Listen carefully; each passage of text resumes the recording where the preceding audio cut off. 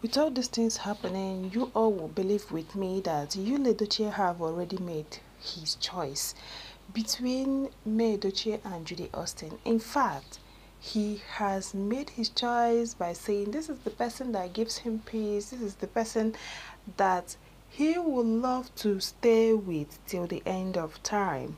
Guys all you have to do is stay with me till the end of this video and do not go anywhere welcome back again to my channel. This is just with doris. In case you're stopping by or hearing this voice for the first time you are highly welcome. We bring trending gist trending news to your way especially celebrities gist and to you all my returning viewers you all are welcome too. Okay following the trending marriage saga that has been going on since last year.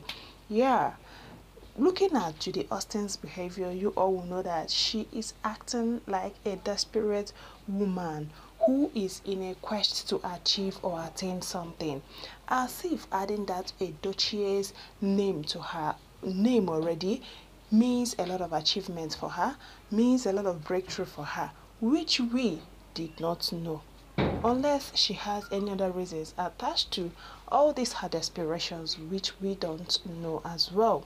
Following um May Edochie's behavior she has been on her own she has been maintaining peace all this while. She has been minding her business notwithstanding all the behaviors coming from Judy Austin's side. Shima she no send at all. Guys just have a look at what somebody said to you. I'm mere looking at this comment. You will know if it's true this person is saying nothing but the truth. Okay look at what Yemi says Yul will not come back to Enugu. He is working things out with May in Lagos.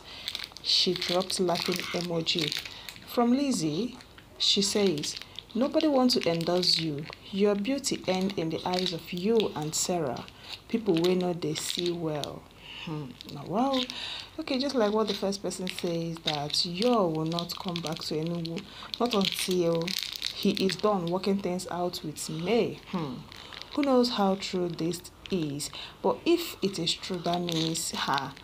Judy Austin's case is on your own. Oh, that is what being desperate will cause. That is what being uh, too desperate causes. Because what doesn't belong to you, you will keep being desperate to get it. You keep being desperate to achieve that. Anyway, guys, that is just it though. It's left for Judy to do the right thing to showcase to the public and to the world that she is not desperate as we all thought. Remember, this is just with Doris. Have a lovely day. Stay safe wherever you are. See you guys in my next video. I beg subscribe if you haven't and drop a lovely comment here. Okay? See you guys in my next video. Bye.